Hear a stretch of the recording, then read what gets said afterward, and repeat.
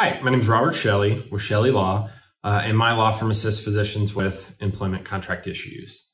Uh, today, I'm going to talk about whether a uh, resident physician can be fired. Uh, the short answer is yes, they can.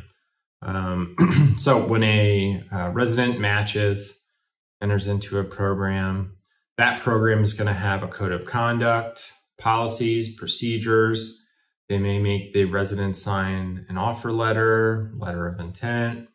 Sometimes they'll offer like a very short employment contract that's not even close to as complicated as what the physician will receive, you know, after they're done with training, start their new job. So once the physician enters the residency program, uh, obviously problems can arise. And in any walk of life, just because you're a professional doesn't mean you're not going to have problems. And in this case, if a problem rises to the level uh, that the program thinks cannot be fixed, they can uh, let the resident go, remove them from the program, fire them, whatever you want to call it. So, uh, the main reasons for someone to be removed from the program are uh, substance abuse issues. So, if they're kind of alleged to be impaired at work, that could easily be a reason to remove them from the program. Now, most programs will allow some period of time uh, for rehabilitation, or maybe they can make them take, uh, you know, a gap year or some time off to get their problems under control, and then just extend the residency by that amount. However, if someone can't get their problems under control, uh, it's obviously a patient safety issue. It can be let go of the program same can be said for mental health issues. Same scenario, there may be time for it to allow them to get uh, psychiatric care, medication, counseling, whatever. However, if it continues and becomes a problem, they can be let go. For that, clinical issues, obviously, uh, just because someone has gotten into med school, graduated from med school, gone through their internship, entered into residency, it doesn't mean they don't have uh, or at least potentially have some uh, clinical skill problems. And so, if during training the same problems continue to arise, uh, that can be grounds to let go of a physician uh, who's in residency.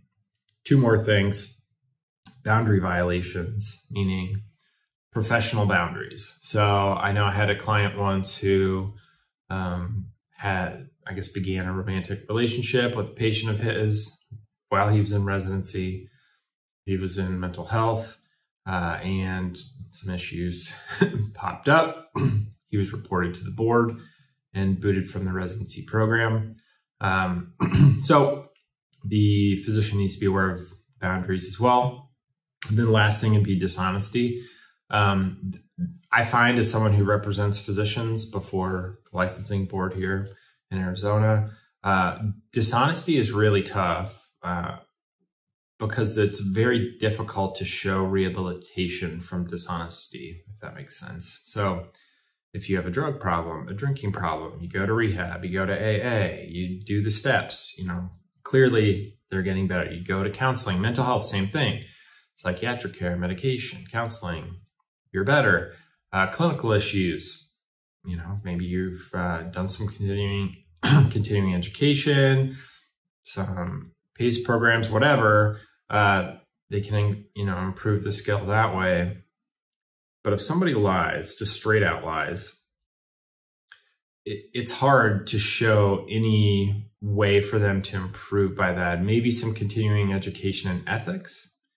Um, but beyond that, uh, I find that most boards are like if they come if they drop the hammer, the hammer is being dropped uh, without any ability to you know improve from it. If the physician is proved to be some kind of uh, liar or you know continues to be dishonest about something.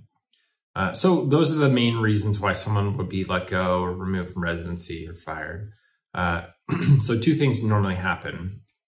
Uh, first, if the program believes the physician can be coached up, so to speak, or improved, they put them on a performance improvement plan, corrective action plan, something like that. And then if the physician shows steady improvement, then there's no issues. Uh, if they have gone through those steps and the physician still hasn't improved and they've kind of exhausted every possibility, then they'll go through a formal uh, removal of the physician from the residency program. Generally, there's a committee that has to vote uh, to remove the person, then the resident would have an opportunity to address the committee. Um, but it certainly can happen. Uh, I guess there's one more thing that could happen is, as I stated earlier, if there was some kind of issue that required some kind of brief period of time away from the training program, the residency can just be extended for whatever amount that they uh, missed. And in that scenario, that's great. I mean, obviously, a physician wants to get through residency as quickly as possible. However, if it is extended, no big deal. They can still get through it, find a new job, no harm. So, can a resident physician be fired from their program? Yes, uh, for a number of reasons. Um, so, anyway, if you have any questions, you can always call my law firm at the phone number listed below in the description, or you can reach us through our website, chellelaw.com, C H E L L E law.com. Anyway, my name is Robert Chelle. Appreciate you watching the video. Thanks.